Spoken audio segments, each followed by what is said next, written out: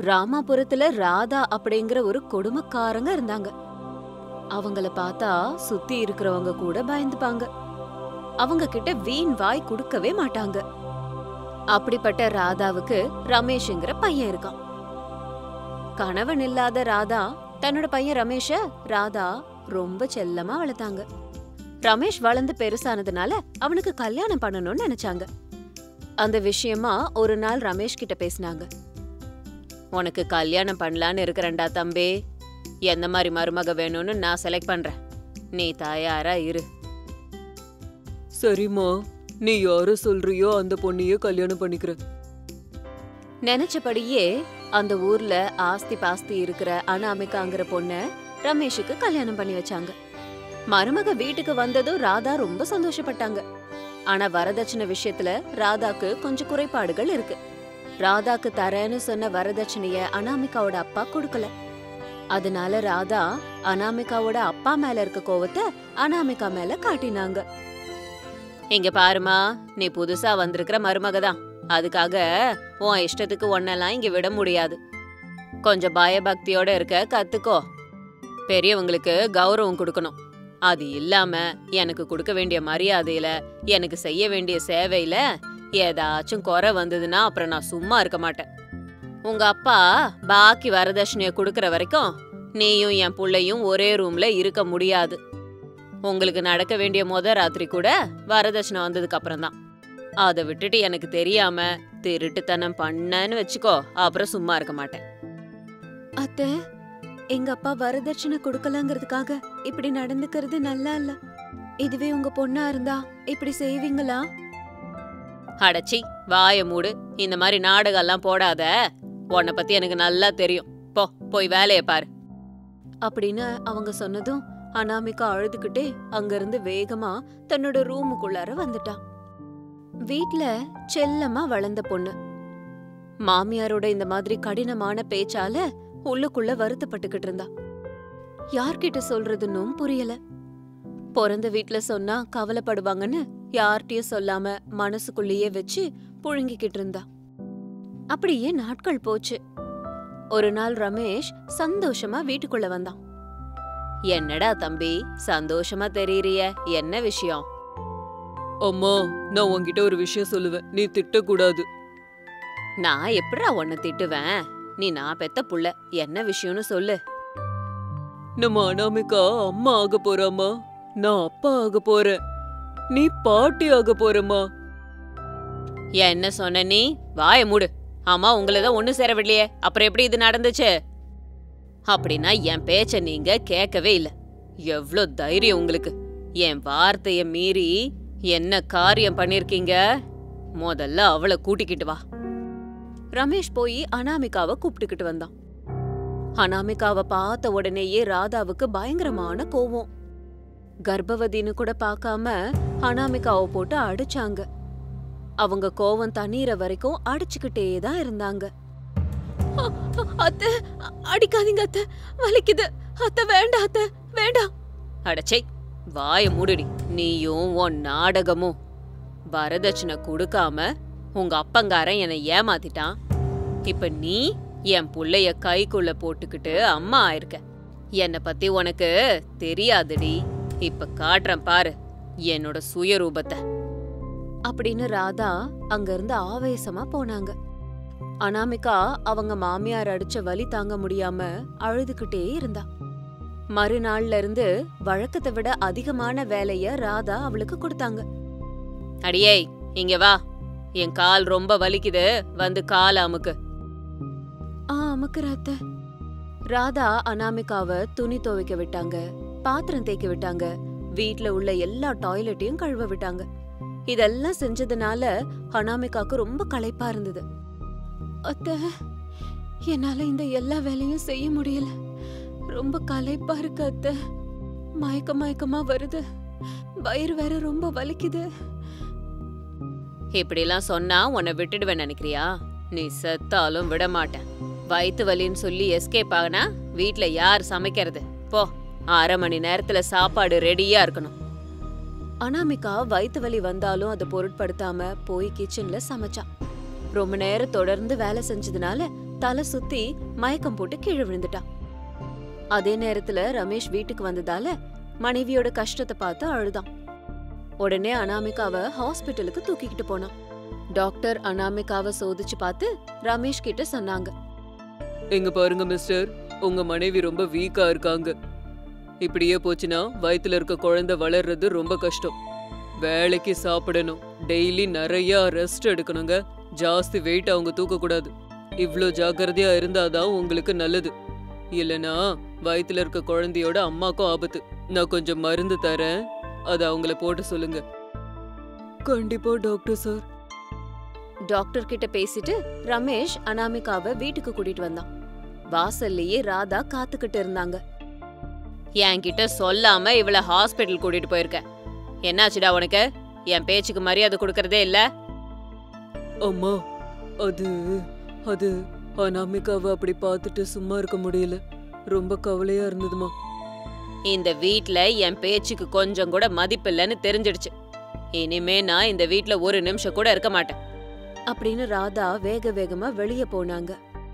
வெளியில போகும்போது வெளிய இருந்த வாழைப்பழத்தோல்ல காலை வச்சு வழுக்கி விழுந்துட்டாங்க. கீழே விழுந்ததுல தலைக்கு அடிபட்டுடுச்சு. நிறைய ரத்தம் வந்ததுனால அனாமிகாவும் ரமேஷும் பார்த்து பயந்துட்டாங்க. உடனே ஹாஸ்பிட்டலுக்கு கூட்டிட்டு போனாங்க. ஹாஸ்பிட்டல்ல டாக்டர் ராதாவுக்கு ரத்தம் ஏத்தணும்னு சொன்னாரு. எங்க பாருங்க எவ்வளவு சீக்கிரம் அவங்களுக்கு ரத்த தானம் கிடைக்குதோ அவ்வளவு சீக்கிரம் நல்லது. நீங்க சீக்கிரமா ரத்தத்துக்கு ஏற்பாடு பண்ணுங்க. அனாமிகா ரமேஷ் ரெண்டு பேரும் ரத்த தானம் செஞ்சாங்க. ரெண்டு பேரும் ரத்த தானம் செஞ்சதுனால ராதாவை அவங்களால காப்பாத்த முடிஞ்சது. ராதா மயக்கத்துல இருந்து எழுந்திருச்சாங்க. டாக்டரை பார்த்து கையெடுத்து கும்பிட்டாங்க. என்ன காப்பாத்துனதுக்கு ரொம்ப நன்றி. ரொம்ப நன்றி டாக்டர். எங்க பாருங்கம்மா உங்க மகனும் மருமகளும் இல்லனா என்னால எதுவும் பண்ணிருக்க முடியாது. உங்களுக்கு ரத்தம் அவசரமா தேவைப்பட்டுச்சு. உங்க பையனும் மருமகளும் தான் உங்களுக்கு ரத்தம் கொடுத்து காப்பாத்திருக்காங்க. டாக்டர் அப்படி சொன்னதை கேட்டதும் ராதா ரொம்ப வருத்தப்பட்டாங்க. மருமக கிட்ட போய் மன்னிப்பு கேட்டாங்க.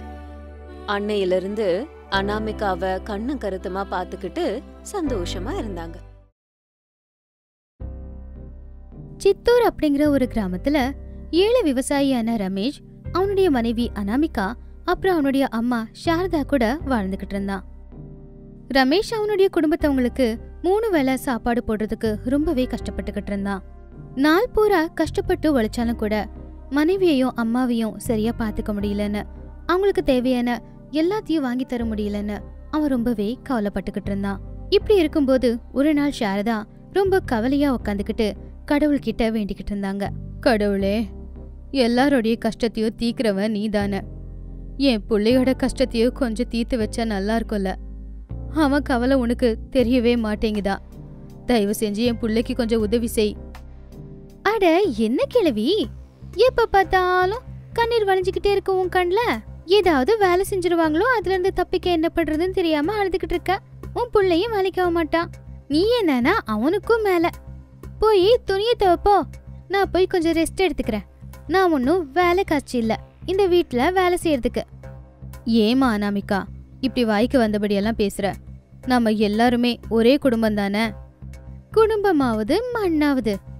நான் எவ்வளோ ரிச் ஃபேமிலியில் பிறந்த பொண்ணு தெரியுமா? என் நேரம் சரியில்லை. இந்த வீட்டுக்கு மருமகளாக வந்துட்டேன். பணம் நம்ம வாழ்க்கையில் ஒரு அங்கம் மட்டும்தாம்மா. பணமே நம்ம வாழ்க்கையை ஆயிடாதில்ல.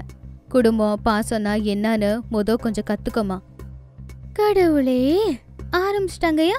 இவங்களுடைய உபதேசத்தை உங்கள் உபதேசத்தை கேட்குற அளவுக்குலாம் எனக்கு டைம் இல்லை. நான் முதல்ல படம் பார்க்க போகணும் நீங்கள் போய் துணியை துவைக்கிறீங்களா? அப்படின்னு சொல்லிட்டு அனாமிகா போயிட்டா. பத்து நிமிஷத்துக்கு அப்புறம் ரமேஷ் வீட்டுக்கு வந்தான். தன்னுடைய அம்மா துணியை துவைக்கிறத பார்த்ததும் ரமேஷ்க்கு ரொம்பவே கோவம் வந்துச்சு. அவன் வீட்டுக்குள்ள போய் பார்த்தப்போ அனாமிகா டிவி பார்த்துக்கிட்டு இருந்தா. அப்போ ரமேஷ் அனாமிகா கிட்ட அனாமிகா என்ன பண்ணிக்கிட்டு இருக்கே நீ? இவ்வளோ வயசானாலும் அம்மா போய் துணியை துவைச்சுக்கிட்டு இருக்காங்க. நீ நல்லா ஜாலியா உட்காந்து டிவி பார்த்துக்கிட்டு இருக்க. இதுதான் நீ மாமியாரை பாத்துக்கிற லட்சணமா? என்ன நீங்க? என்ன பிடிச்சு கத்துறீங்க? எனக்கு கொஞ்சம் தலைவலி. நான் கொஞ்ச நேரத்துக்கு அப்புறம் துணியை துவச்சு போடுறேன்னு உங்க அம்மா கிட்ட தான் சொன்னனே. அவங்க தான். தோ இப்படி உங்ககிட்ட திட்டு வாங்குறதுக்காக அவங்களே போய் துவைக்கிறாங்க. அதுதானே அத்தை? உங்க பிள்ளைக்கு கொஞ்சம் புரியுற மாதிரி சொல்லுங்க. ஆமாண்டா. நீ போ. உனக்கு எதுக்கு இதெல்லாம்? நான் விருப்பப்பட்டு தான் நானா போய் தான் துணி துவைக்கிறேன். அப்படின்னு சொன்னாங்க சாரதா. அப்பா அவங்க கண்கள்ல இருந்து கண்ணீர் வழிஞ்சது. கடவுளே. இவங்க ரெண்டு பேரால எனக்கு பைத்தியமே பிடிக்குது. ஏதாவது ஒன்று பண்ணுப்பா. ஒரு பக்கம் பணம் இல்லாத கொடுமை இன்னொரு பக்கம் இவங்க கொடுமை. அப்படின்னு சொல்லி ரமேஷ் அவங்க வீட்ல இருக்கிற அவனுடைய மாட்டை பார்க்கறதுக்காக வந்தான். அப்படி வந்து பார்த்தப்போ அந்த மாடு கூடவே இன்னொரு மாடும் நின்னுக்கிட்டு இருக்கிறத அவன் கவனிச்சான். அட இந்த மாடு யாருது? இந்த மாடு எங்க எப்படி வந்திருக்கோம்? சரி பாவம் பசியில இருக்கும் கொஞ்சம் புல்ல போடுவோம். ரமேஷ் அப்படி யோசிச்சு அந்த மாட்டுக்கும் கொஞ்சம் புல்லை எடுத்துட்டு வந்து சாப்பிட போட்டான். ஆனா அப்ப உண்மையிலேயே ஒரு பெரிய அதிசயம் நடந்துச்சு. அந்த மாடு சாணத்தை போட்டுச்சு. ஆனா இதுல அதிசயம் என்ன அப்படின்னா அந்த சாணம் தங்க சாணமா இருந்துச்சு. அட என்ன இது அதிசயம்? தங்க சாணத்தை போட்டிருக்கு? அம்மா அனாமிகா ரெண்டு பேரும் இங்க வந்து பாருங்க. என்னப்பா ஏன் அப்படி சத்தம் போட்டு கூப்பிட்ட?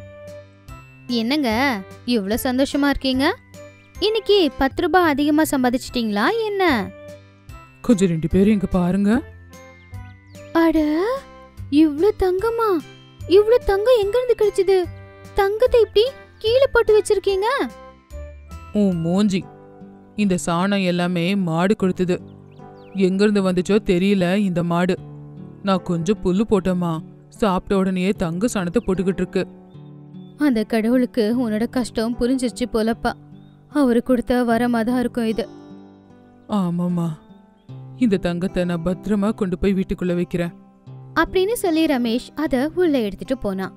அனாமிகாவுக்கு இப்போ பேராசை பிறந்துச்சு. அப்ப அவ மனசுக்குள்ள இப்படி யோசிச்சா. அட இந்த தங்கம் எல்லாத்தையும் எடுத்துட்டு போய் ஒருவேளை இவர் அவங்க அம்மா கிட்ட கொடுத்துருவாரோ? நான் இதோட வயித்துல இருக்கிற தங்கத்தெல்லாம் வெளியே எடுத்துட்டு மொத்தத்தையும் நானே வச்சுக்கிறேன். அப்படின்னு நினைச்சு அனாமிகா அந்த மாட்டுக்கிட்ட போய் மாடு மாடு சீக்கிரமா தங்கம் எல்லாத்தையும் கொடுத்துடுறியா? அப்படி அனாமிகா கை நீட்டி கேட்ட உடனே அந்த மாடு உண்மையான சாணத்தை போட்டுச்சு. சீ சீ என் கை எல்லாத்தையும் இப்படி ஆக்கிடுச்சு இந்த மாடு. அப்படின்னு அந்த மாட்டை திட்டிக்கிட்டு இருந்தா. அதை பார்த்ததும் சாரதா அதுக்கு தான் மரியாதையா பேசுறது பாசமா பேசுறத கத்துக்கோ அப்படின்னு சொன்னேன்.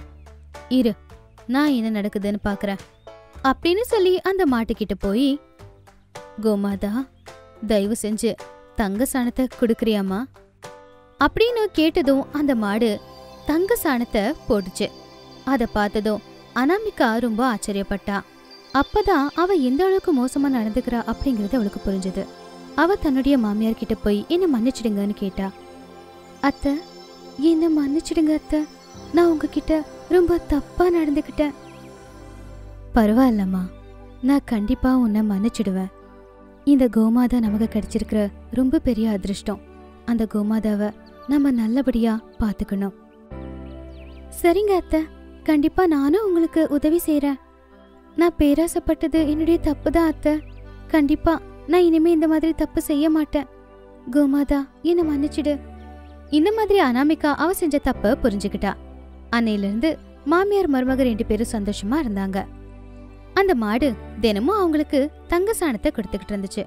அவங்க மூணு பேரும் அந்த மாட்டுங்களை நல்லபடியா பாத்துக்கிட்டாங்க அப்படி திடீர்னு அவங்க வீட்டுக்கு வந்த அந்த மாட்டால அவங்களுடைய வறுமையே நீங்கிடுச்சு. ரமேஷ் இப்போ ஒரு பெரிய பணக்காரனா ஆனா அவங்க மூணு பேரும் சேர்ந்து ஒரு என்ஜிஓவை ஸ்டார்ட் பண்ணாங்க. அந்த என்ஜிஓ மூலமா ஏழைங்களுக்கும் கஷ்டப்படுறவங்களுக்கும் உதவி செய்ய ஆரம்பிச்சாங்க. அப்படி அந்த மாட்டோட வருகையால அவங்க வீட்ல எல்லாமே சந்தோஷமா மாறிடுச்சு. சாரதாவோட நல்ல குணத்துக்கும் ரமேஷோட கடின உழைப்புக்கும் அந்த வரம் கிடைச்சது. இந்த மாதிரி ரமேஷ் சாரதா அனாமிகா இவங்க மூணு பேரும் மாடுங்களுக்கு சேவை செஞ்சுக்கிட்டு நல்லபடியா வாழ்ந்துகிட்டு இருந்தாங்க.